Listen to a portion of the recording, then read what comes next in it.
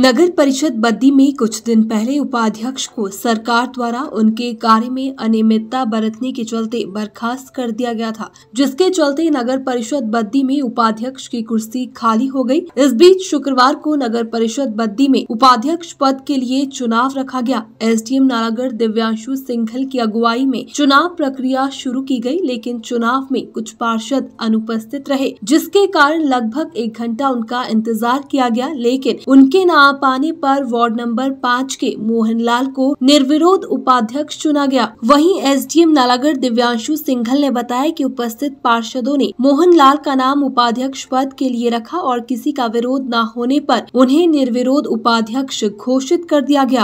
आज नगर परिषद मध्य के उपाध्यक्ष पद के लिए चुनाव थे।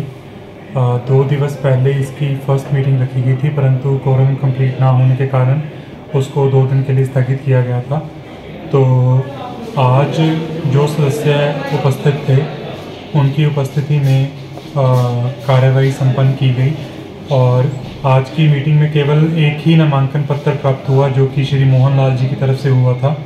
तो एक ही नामांकन पत्र प्राप्त होने की स्थिति में श्री मोहन लाल को निर्विरोध नगर परिषद बत्ती का उपाध्यक्ष घोषित किया गया। उधर राम कुमार चौधरी ने कहा कि नगर परिषद पर हमेशा कांग्रेस का वर्चस्व रहा है और एक बार फिर कांग्रेस ने हासिल कर लिया है। उन्होंने कहा कि कांग्रेस लोकतंत्र में रहकर राजनीति करती है। बद्दे में शुरू से ही कांग्रेस का वर्चस्व रहा है। भाई मदन जी ने लगातार चार टर्म इन्होंने चेयरमैनशिप की है और क्लीन स्वीप बीजेपी को किया है।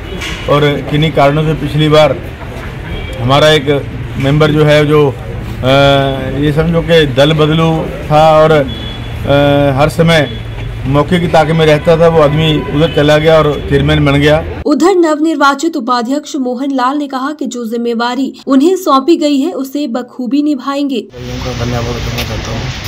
मुझे इस पर बिठाया है। ईमानदारी से काम करना वो जो मेरे पिताजी की इच्छा पूरी हुई segundo, terceiro, quarto.